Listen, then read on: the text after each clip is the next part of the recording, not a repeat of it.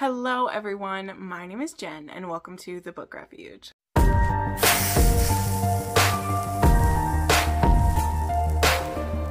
All right, hi, hi, hi everyone. I'm so excited to be making this video.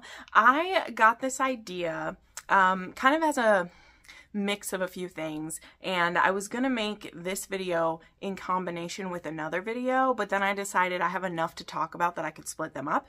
So I won't tell you what that other video is yet but it will be coming soon. Um, but this video is going to be all of the hidden gems I feel like I've read this year so far.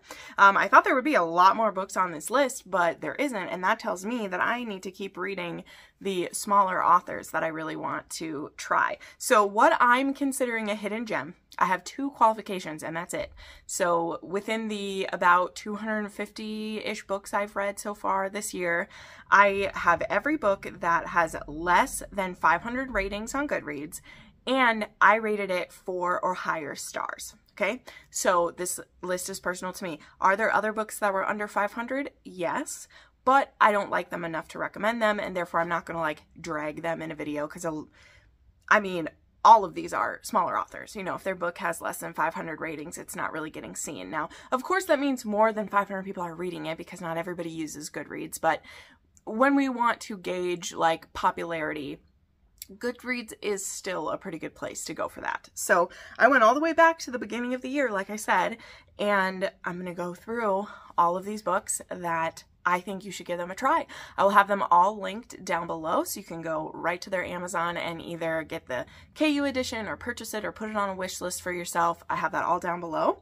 Um, and we're going to dive into these. They are all through all the subgenres that I read. Some of them are from authors who sent me their books to try. Some of them are authors I found on my own and some are ones who are recommended by you guys. So let's dive in. And the very first one I have to mention is Denial by Ali Mar. Um, Ali Mar uh, was a new author last year and she's only put out a couple novellas so far but i know she well her first book is a book but it's it's like a shorter book. But this one is a novella and it's actually about a married couple who is in a bdsm relationship. They're in a 24-7 dynamic and the female is actually the dominant in this situation. And her and her partner have been together for many years. They're like i said they're in a long-term relationship and they entering kind of this like experiment or like deeper level of submission and trust together. Whereas the uh, submissive is willing to give up his uh, you know pleasure for whatever period of time the dominant decides. And the reason this is a little bit different than what they've ever done before is that I mean he's basically going to be wearing a chastity cage a you know what it is. I'm trying to be a little more careful because YouTube has been censoring a couple of my videos and uh, I mean, let's be honest, it's taken six years for that to happen, but you know, mama still needs to make her money. But a chastity device on himself, maybe you can guess what I mean, for a long period of time. Now, of course, it gets cared for carefully, so there's no chafing or anything. But in the past, they have always had like set times where it'd be like, okay, we're going to do this for a week and then that's going to end. But our hero is actually the one who's pushing for this. He really wants to completely submit himself to his partner and not know when the end date is going to be. So there is a key, obviously, an out, and he has a safe word, but those are the only two ways out. And what I found so fascinating about this is you guys know I'm fascinated by um, dominance and submission. It's one of my favorite things to read in romance at all different levels, whether it's this 24 7 situation or less than that. And I mean, you're going to see that in this list because a lot of the romances that I found greatly moving will have that. That's not all there is in here if you're not into that, but to me, those are romances that I feel like don't get enough attention because people are afraid or just not interested. It doesn't have to be that you have a fear for it, but you might just not be interested in kink and like that is a-okay, believe me. But I just found this one to be very well thought out, and it's also a good kind of taste test of some darker, well, not even darker, because they have a beautiful marriage, a beautiful relationship that is so much built on trust, and their partnership is really wonderful to see, but man, the games that they kind of play with each other are fascinating, and I loved watching this. There are Um, some trigger warnings for this one mostly having to do with different kinky things and including a bit of a darker one at the end, which again, completely consensual, but there is a branding that takes place. I want to give you that warning. And you guys know that that is actually usually a like hard limit for myself. I don't love reading that. But the times that I've read it before, it's always been a coercive thing. Like I've read it in very dark romance where it is a claiming or, you know, a master slave situation. And I just, I can't. That's just too far for me. But in this case, again, it really is the submissive who is begging for that level of ownership and the dominant being like, I I need to see that you really mean this because this this isn't like a chastity device that can be removed. Like you'll have it forever. So again, it's not as heavy as I just made it sound with that. This is a short, shorter story, but there's so much packed into it. And I just think that uh, Ali Mar deserves so many more eyes on her work, and I can't wait to see what else she has coming out. She has some great um, books in her Kink Kinktopia. What's it going to be called? Like Kinktopia, whatever the series is going to be. Um, I'm very interested. Okay, then we have one that I was actually shocked had under 500 ratings because this author, I just, I don't understand. Um, this is Meegan, Meegan by Rebekah Weatherspoon. This is the third book in her, uh, man, I don't remember the name of the series. I didn't write it down on this page, but I was so looking forward to this. There are only two books in this series. Um, and there had only been two books in the series for years and years and years. We didn't even know she would write more. And then all of a sudden, it popped up on like Goodreads that there was going to be a third book, and it was going to be about Megan. Megan, I still don't know how to pronounce this. I'm going to say Megan because that's what's in my head. Um, I've never heard it spoken by anyone. If it was Megan, I feel like there would be an EA in there, or an M E G H A, whatever. I'm going with Megan. And this one is also another kinky book, but this one is a fake dating, um, and then it becomes more. And because it's going to become more than a fake dating, um, Megan has to share with uh, her partner that she really needs kink in her relationships. She was in a long term polyamorous relationship where she was a submissive to a like couple and she likes that. Like she likes sharing with other people. She is she likes to be um she's like a pleasure uh submissive like that's she likes to be over pleasured and all of these things and being shared with multiple people something she really loves. And that's something that when you are getting into a new relationship and the other person hasn't been involved in uh, kink before that's going to be kind of a heavy thing to get into. But um, our hero is very open to it very interested in learning more about it to see if he does like it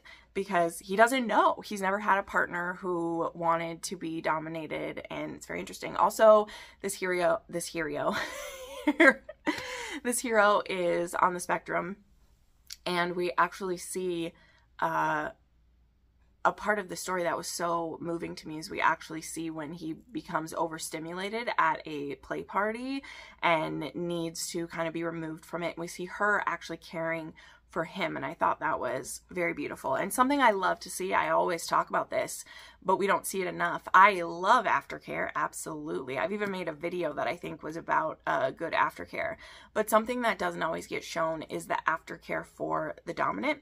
Yes, absolutely, it is the dominant's job to, you know, praise and cuddle and give aftercare to their submissive, especially when they do very intense scenes.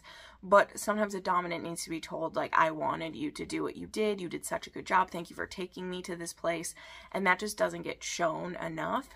And especially when you have someone who's becoming a new dominant and is maybe doing things to someone that, you know, they might be liking, but they need reassurance that they haven't hurt them. And I think there are some good conversations about that in this one. So definitely check these out, y'all. Okay, now, all right, now we step away from kink for just a little bit here, and we have In Like Flynn by Lauren Smith. I love this one. This one was, I listened to the narration of it, and uh, Lauren Smith is also Emma Castle, who that's like her dark romance name that she has. And she's someone that I love reading her books. But this one is book two in the Pirates of King's Landing. I do recommend possibly that you start with the first book, which did have more than 500 ratings, but I read that one last year. Um, and this one is, the heroine is actually kind of a pirate and he is going undercover um, to catch her. So anyway, this one has forced proximity. It's kind of a road trip, but on a ship. There's pirates, there's swashbuckling, there's running from the law, and yeah, there. This one is so so fun. I love it so much, and uh, yeah. Although I think I just said that this was Roberta, I always forget the back of this novel has of this specific copy that I have has the wrong it has the wrong blurb on the back. So this isn't Roberta. This one is, um, Roberta's in the first book. This one is Brianna. This is Brianna and, uh, where is he? Do do do. Where is his name? Because her, Nicholas. Okay. Nicholas Flynn, that's right. So this is Nicholas who's undercover and then Brianna who is the pirate's daughter. I apologize for that, but I totally forgot. So I was, you know, checking with the back and I'm like, wait, that's right. This is the wrong back. So Roberta is in the first book and Captain Dominic Gray is the hero in that one. But anyway, this was really great if you're in a historical romance mood. The narration, I believe, is Shane East and then someone else as well. This is dual narrated uh, historical. Gotta love when Shane East shows up. He He's always a winner for me. All right, then we have a spicy little alien romance, and this one was just an absolute delight. Like, I smiled the whole way through. This is another short one, too. It's novella length, but it's just it's all sweetness okay? There's there's nothing angsty or any of that. Even though this is a like kidnapped by alien story. So this is jumping the shark by ash raven. I knew nothing about this author. This is a new to me author from this year. I saw someone else post this cover and it just looked so beautiful and like sexy and like I love alien romance. I don't read enough of it these days and I immediately signed up for an arc of this and I was sent one and I was like, oh my god, I just, mm, I loved it so much. So yeah, this one, our heroine is using a dating app. She is trying to, you know, find love. And it has turned out that aliens on other planets have discovered that they can use like human dating apps to find their partners. And then they, you know, they find people that don't have lots of family, that they won't be missed, and they will basically win them over on the app and then like kidnap them. But they offer them so many wonderful things once they bring them to their new world that most of the humans are just like a-okay with being there. But they do have the option of like, if they can't be won over by you know by their person they can they can go home. You know like it's a kidnapping but also they won't like force you forever. I don't know.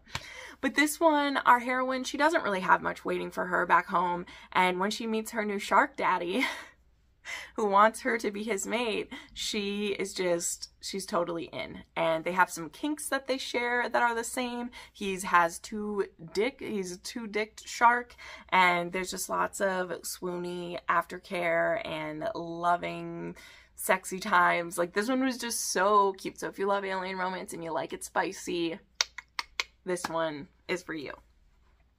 All right, now we have a more emotional one. And this one is also an erotic romance. Like I said, a lot of erotic romance don't get read as much as other ones. So that's why these are on my hidden gems. And they're hidden gems because I love erotic romance. So there you go. But this one was actually one that was picked for my Patreon. And it was The Escort's Tale by MJ Edwards. And this book is just kind of a flash in the pan, complete surprise to me. And I loved it so much because this is an MMF and it is an escort, obviously, by the title, and he is bisexual and he's been hired for all types of things and all types of situations.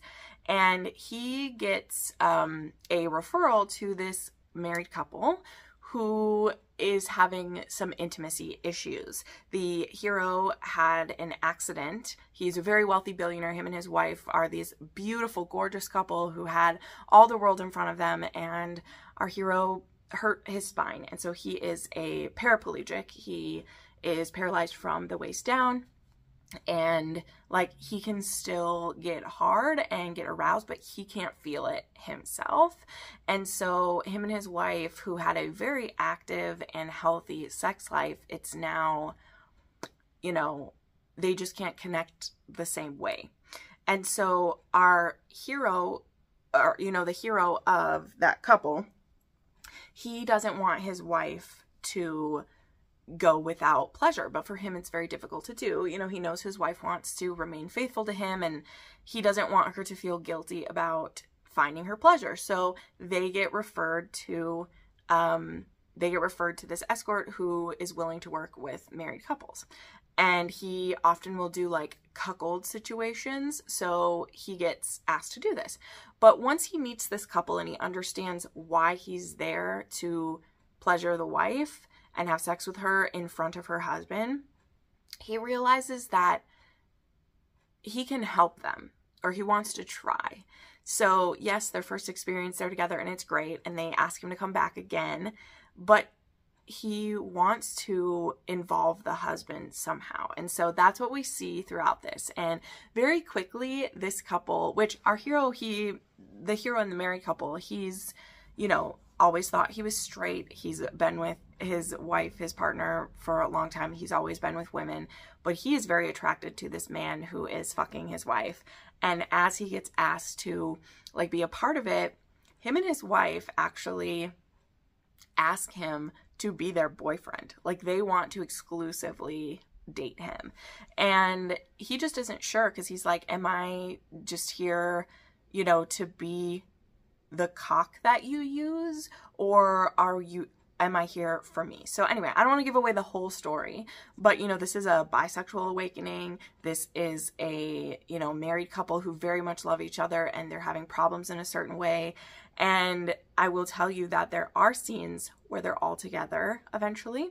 And there are scenes that like it's just so intimate, you know, because we have a hero who does need help and he's always been so strong and capable. He was on top of the world. He's that billionaire we read about in all these stories, and now he's lost his ability to walk and his ability, what he feels to have sex with his wife, which are the two things that made him feel like a man, and now they're gone. And when our escort gets brought in and is able to give some of those things back to this couple, it was very beautiful. So for this being a shorter novel, it was just glorious. And this is actually written by a man, and the POV is exclusively from the escort the whole time, which I thought was a very interesting choice. This doesn't switch POVs, it's in his the whole time.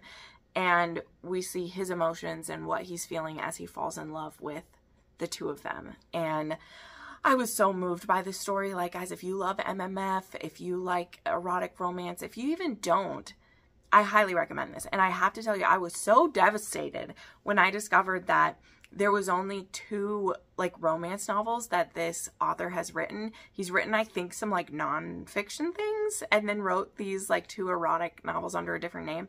And he's never written anything else. I cannot tell you how devastated that I am that that's the case because I loved reading how he wrote a man and I loved how he wrote this MMF and it still felt so intimate and beautiful and like it was fantastic. So, highly recommend. Okay, then we have Sir Yes Sir by L.L. Ash. This is book three in the uh, Sophisticated Seduction series. And I was sent an arc by this author because I really loved him and uh, the teacher is that what the second one's called? Man it's been a long time. But they're none of them are connected um, directly. They're just they're in the same series but they're not directly connected. Um, teach me is the second one. So him is a best friend's dad teach me is a professor and the, a graduate student and then sir yes sir is this one. So they're all forbidden age gaps. And this one is actually a dad's best friend and a former uh, military guy who is actually injured in the beginning of this, and he moves in with his friend um, who used to be in the military with him because he doesn't have any of his own family and he needs a place to convalesce until he's ready to go back. Which, again, he's former military because we find out pretty early on in this he's not going to be able to go back again because of the uh, PTSD as well as the physical changes that have happened through his injury that he had. But he ends up staying in the guest room of their home for a little while. And they also have a daughter who I believe she's 22, 21, 22, and she still lives at home mostly because her parents like want her to and she works for her dad's business and she's always been kind of attracted to this older you know her dad's friend um, and now he's living in her home so this is a complex yet beautiful romance between the two of them definitely worth it and i was surprised that this one had under 500 but i feel like not a lot of people know about ll ash and i just i want you to give this one a try everybody it's so good then we have Till All the Seas Run Dry by Eliza MacArthur. This was book two in the Elements of Pining series. This is a series that is paranormal, and the first one very much feels like a uh, Charlie retelling, that's what everyone says, from Twilight, and it definitely does. That was Hank, uh, Soft Flannel Hank was the first one. So, uh, Till All the Seas Run Dry is a vampire and a selkie romance. And at the very end of Soft Flannel Hank. Um, I believe Callum is the name of the hero. It's been a while since I've read this one. He, Callum kind of appears to be a villain in the first book. Spoiler for that one, you'll find out by the end that there was some misunderstandings there. And at the end of that book, this Selkie, who I can't remember her name, I'm so sorry, who hasn't been able to go in the water for years because Callan actually stole her skin. And he doesn't know how important it was. He didn't even know that she was a Selkie. When they fell in love, it was hundreds of years ago, actually. I think maybe almost a thousand. It's been years. And they didn't fully know who each other was when they fell in love. And there was something that split them apart and they like both believed the other was dead. So at the end of Soft Flannel Hank, they discover they aren't.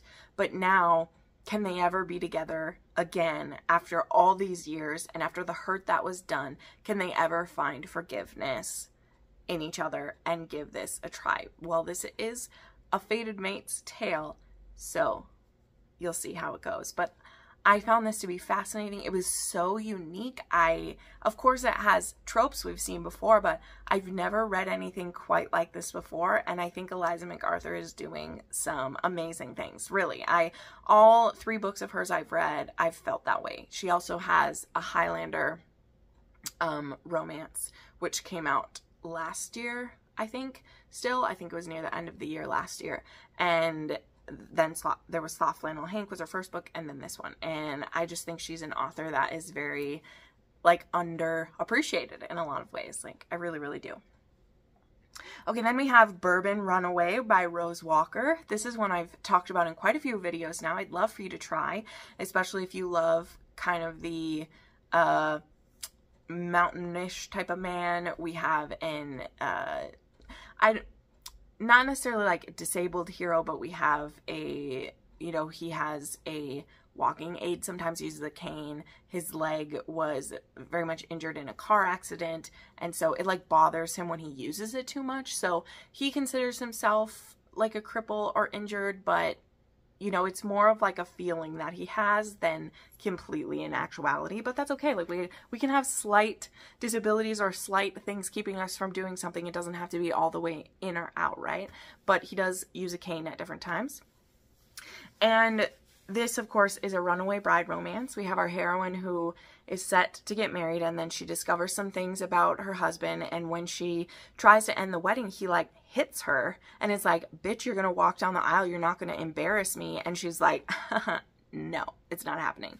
And just as he, you know, this, this awful uh, fiance is berating her this way, um, our hero has showed up at this wedding and he is just kind of slipping in at the end or he's slipping in right before it was supposed to begin because this woman getting married was his dead brother's girlfriend when they were young. And there's just always been kind of a weird vibe between them since then. And he's always stayed away from her. He stayed away from everyone ever since his brother had died all those years ago.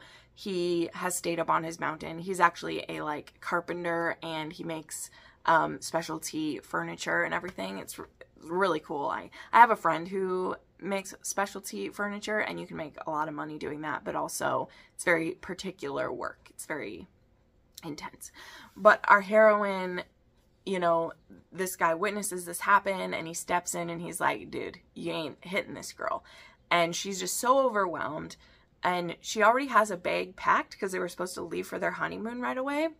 And she ends up jumping in his truck with him and he takes her to his cabin on the like edge of the mountain for the weekend. And it's very awkward because they haven't spoken in so many years and there's so many things that just haven't been said. There's a lot of memories about his younger brother that he doesn't want to face and now she's living there. Um, so yeah, this one had a lot of complex and emotional feelings, but it was really good. And the next one in that series is coming in July, and that one's going to be a Vegas wedding because our heroine has a pretty extensive family. She has siblings, and then she also was like kind of adopted into a family too, so there's a lot going on there. Then we have Forgive Me for My Sins by A. Anders, which fan fantastic. Okay, so good. So this is a priest romance, but it is one of the lower angst ones that I've read, which you wouldn't believe because there also is cheating in in this book, but it's hard to explain. So this was a debut book from A. Anders, and I saw that it was a priest romance and it was a new to me author and I was like, let's give it a go. I want to try it. I, I do like taboo romance that way. And I mean, it's still taboo because he is a priest. He isn't supposed to be with anyone. He has become a priest to kind of atone for his past. You know, he was very, uh, what's the word I'm looking for? He was very sexual in his past. He promiscuous, that's what I was looking for. But now he's given his life to God and he is a new uh, priest in this parish. He's not the head in this area, but like he's taking on a new church. And what we discover at the very beginning of this book, literally the first line, is our heroine finding out her husband is cheating on her. Now she's married to this significantly older man, and she's his trophy wife. Um, she has money in her own right, so she's the type of trophy wife that like she would be fine on her own. She didn't need him, but he wooed her and won her and then married her and she was supposed to be an ornament and just do what she's told and just be there. And she's not going to put up with that. She now has proof he's cheating on her. She has camera footage of it happening and she's ready to get out of this marriage. So she ends up going to church uh, mass, which she hasn't been to in a while, and she actually meets this new priest, and she's very attracted to him. And she kind of decides that she wants to have an affair with him before she even really knows him too well. Um, because she wants revenge against like her husband too and she's like what would embarrass him more than if i had an affair myself and i did it with a priest like that is kind of her game when she starts so she ends up getting put on this committee for a charity and working with the priest and as they get to know each other they genuinely are falling for each other. Now, what I loved about this is once our priest decides to be with her, this book doesn't have really the struggle of if he should continue to be a priest or not. He very much is like, if I've fallen in love with a woman more than I'm in love with this position, more than I'm in love with God, as it were, then I shouldn't be doing it because I'm not doing it to the fullest which seems like pretty clear logic to me. And this woman genuinely loves him too. This isn't just a fling to her like she thought it would be. She genuinely loves him. So I've said enough. You'll get it. It is some kinkiness in here. It is forbidden. There's the cheating aspect, but it's one of the kinds where like it's very clear that her husband's a complete asshole. He's abusive. He's cheating. She just needs to find a way to get out of the marriage and, you know, and she's fallen in love with this priest, which I love. So I really liked this. If other priest romances have seemed too taboo for you or they make you uncomfortable, this was a good one because I don't feel that it slammed religion and I don't feel that it was overly sacrilege like some can be. I mean, it's still kind of, I know, I'm not here to nitpick. I'm just saying if some of them have been too intense for you or you're like, this is, this one, you know, as not being a Catholic, but being a Christian who reads spicy romance, we know, I wasn't squirming because of the taboo nature of it. I don't know another way to say it, but I think it was great. Support a new author. She will have more books coming in this series soon. Um, it's actually a gr- about like a group of friends who all used to be, um, I believe they all used to be kind of pretty naughty, like in the same group and they've all are trying to clean it up. I can't, I don't even know, but it's a group of friends. And so um, the hero was one of the friends in this, and he just happened to be the priest. And now we're going to meet another one. They're all going to be like taboo in some way. So they won't all be like religious bent to them. But I thought it was great and it really deserves more reads. It was a great time. Okay, now we have Brutal Vows by Darcy McQueen. This book was really a good time, okay, for sure. I read this during the Mafia Romance Readathon, and it has been on my TBR for ages, and I was very interested. This one actually has some Mafia cowboy going on. Um, we have our hero, um, sorry, I just need to double check, it's been a while, Mick, um, and we have Cassidy, although that's not their names for real. They're both going by hidden identities. So we have um, the heroine show up at this ranch and Mick can tell she's not who she says she is. He knows that Cassidy's not who she said she is, but she showed up there with her horse in a, in a trailer and she needs a place to stay. And she's not planning to stay for long, but she needs a place to stay for now. And so he um, has always tried to hi- he's been hiding his identity because he had to leave the mafia when his old boss uh, literally shot him in the back and he barely survived. And he started this farm but nobody knows that he like owns it. He pretends to be a worker on it but it's really his ranch but he's trying to stay low key and so when this woman comes and he can tell that she's on the run from something there's this in between because he's like having a woman where someone's looking for her may bring attention to my ranch that I don't want to. But she showed up with this horse, needs a place to board the horse. She's stolen the trailer and the truck, and we don't know how she ended up here or whatever. And Cassidy doesn't want to tell because she is on the run from someone. So she happens to be on the run from an abusive fiance who I'm just going to tell you because it's what completely won me over to this. Her horse is her only friend. She does like, I believe she does jumping and shows with her, and her horse is her only friend she's been able to keep. Her family is very controlling. She's going to be forced into this arranged marriage, and she was willing to do it. She was willing to do what her parents wanted her to, but then she overheard her parents and her fiance discussing the fact that while they're on their honeymoon, they were going to have the horse put down. They were going to kill her only friend so that they didn't have to deal with the horse anymore and also she wouldn't need to be training and riding and doing everything she was going to be the perfect little wife for them and when she hears that she's like to all of it and is like no way I was willing to do whatever you wanted, be the dutiful daughter, be a dutiful wife, but you're trying to take away my only friend and the only joy I have? No. So that's why she went on the run. She stole the truck and the trailer and she stole her horse and she was like, I don't know where we're going to hide but I'm getting out of here.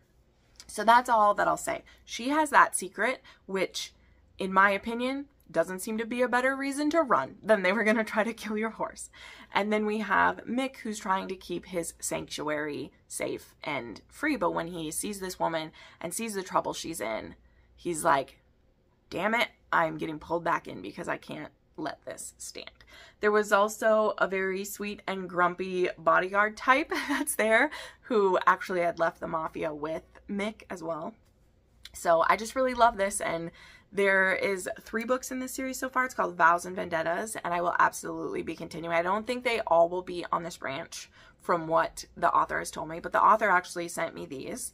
Um, and I finally got around to it. I'm sad that it took me so long because I love this and I will definitely be continuing the series for sure. So definitely get this down below and support this author. If you're my Mafia lovers, if you love a Mafia cowboy, there it is for you.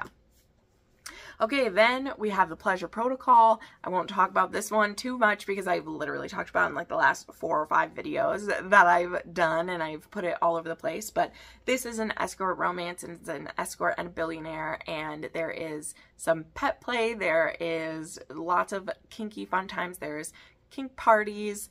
There is, um, yeah, it starts out where his normal escort can't join him for an event and so he gets Corinne gets asked to join him and so she does and they find that they click together very well. Very soon she becomes his regular escort that he's working with now and we see feelings start to grow between client and escort and there's lots of fun beautiful kinky things in here and I just loved it and this is two new authors they're friends and this is Darcy Romaine and Kat Alexander they did send me this book I got a little box with some good fun stuff in it and I was riveted by this book. I love the kind of stuff that's in here and it needs more love for my erotic romance readers. This was great.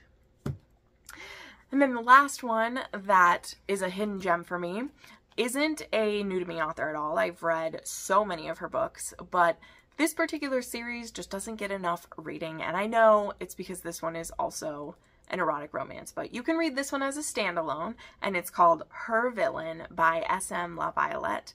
This is part of the Victorian Decadence series. Now, as I said, this one is, I think, book uh, five or six in the series, and it is about a completely new couple. This one is an MF.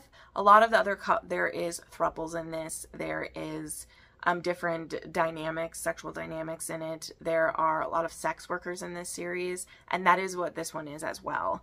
Um, our heroine, she's only been a sex worker for about nine months since her father died. She's had no other recourse, no money was left for her. She didn't have any prospects, and so she's planning to just do it until she earns enough money that she can move to the United States. That's what she wants to do. Um, she's in England doing this. But then the brothel where she's working has to close because the owner has made some bad financial decisions and put them in a bit of a pickle. And that's putting it lightly. And then all the money that she's been saving up gets stolen. So what's a girl to do? And then we have our hero who is a psychopath and a assassin and has some missions that he gets sent on. And he is looking for a sex worker for the night. And he goes to this brothel which he's told is a good one as it were. And he discovers it's closed. And the only one hanging around is our heroine who's there trying to get money from the owner. Um, and he's like i'll offer for you. And she's like what? And he's like well you're the only one here. You're pretty. Come home with me. I'll pay you well. And so she's desperate so she agrees to go with him. And while she's there, they keep negotiating for different things. It's very it's very clinical in the beginning because again, he's a psychopath. So the way that he's thinking about everything, it's only about his pleasure. He obviously doesn't want to hurt her, but not because he has feelings, but because he's like, oh, it's messy when you hurt them. Like all that kind of like creepy vibes you get, right? And she decides that he has a nice home, it's warm, he's feeding her. She wants to try to see if he'll make her, her his mistress for a while so that she can earn money and have a place to stay and not have to be on the street. And he agrees to keep her for the weekend. They, you know, gonna have sex some more. But he's planning to kick her out at the end of the weekend. Maybe give her an extra tip, but he's like, I don't have time for this, move it along. But the second night that she's there, he also has very regimented times that he does things. So it's not time to have sex yet. They have some time they need to fill up. Um, they end up playing a game of chess. And this is where the book really takes a turn and where I was just riveted. I'm always riveted in her books, but this one I was like, whoa. Um, they play this game of chess and he wins. And he's like, you let me win. And she's like, no, no. And he's like, you're lying. Tell me the truth. I don't like liars. And she's like, I find that men don't like when I beat them. And he's like, well, that's lying though. Play it the right way. I, if I lose, I lose. Play it the right way. So she's like, okay. So they play again and she beats him in like 10 moves or something. And he laughs. And she's kind of like startled that he like laughed at her. And from her beating him at this chess game, he decides to keep her for the rest of the time he's here for his mission, which is, I think, like a month or two or something like that. And he'll pay her for her time being there if she will stay out of his way during the day, play chess with him, and have sex with him. That's what he wants. And we're on our way to a love for sure. So this was fascinating. He has those parts of a psychopath who's never cared about someone before, but now having someone in his life that he's like, well, I don't care about her, but I don't want her to be unhappy. And all these little things he starts doing to try to make her happy show us as he's like falling deeper for her. So this is another one I've been talking about all the time. I'm obsessed with it. I love it so much. I want you to read it so badly. Um, and I, none of those books get enough love in my opinion. And again, this is like number five or six in the series. You can start with this one. The other characters in other series are only partially mentioned, whereas some of the earlier books she's written, you do kind of want to read them in order just because of how things unfold. But this one, and she says in her author's note that she's always wanted to write a psychopath, and so there's only like vague connections to the others. So you can just read this as a standalone and decide if you like it. So there you go. Those are all the hidden gems I've read so far this year. Let me know what hidden gems you found so maybe I can check them out. Um, I will tell you now, the other video I'm planning to make that led me to this is I'm going to be making a video that is a um, all of the new to me authors I did read. So that was the thing is like a lot of these authors fit onto that list, but I do have almost 50 new to me authors I've read this year. And so I'm going to put that in its own video. So make sure you subscribe, like this video and hit the bell if you want to be notified when that video goes up. I also put up uh, videos three to four times a week with recommendations. So definitely check that out. So thank you so much for watching. I appreciate you so much and I hope you have a great day. Bye.